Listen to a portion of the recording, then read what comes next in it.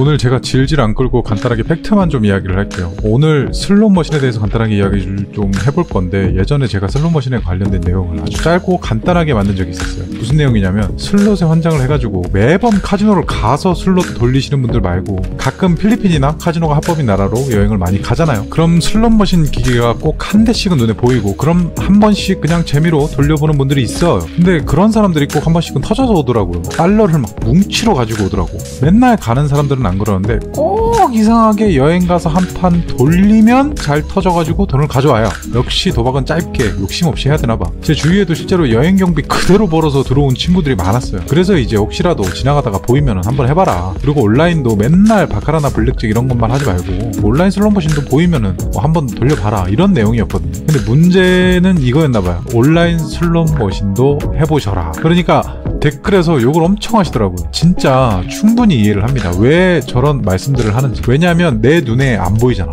환수율이고 나발이고 저게 조작인지 아닌지 어떻게 알아? 에볼루션 바카라도 조작이라고 하는 판에 눈에 보여도 조작인데 안 보이는 슬롯이 의심이 더 심하겠지. 당연히. 외국에서도 뭐 유명한 합법 온라인 슬롯이라고 이야기를 해도 결국 조작 의혹은 벗어날 수가 없어요. 근데 제가 저 이야기를 한 이유가 뭐냐면 일단 저는 적어도 모르겠어. 다른 사이트 조작 뭐 있는지 이런 거는 진짜 몰라요.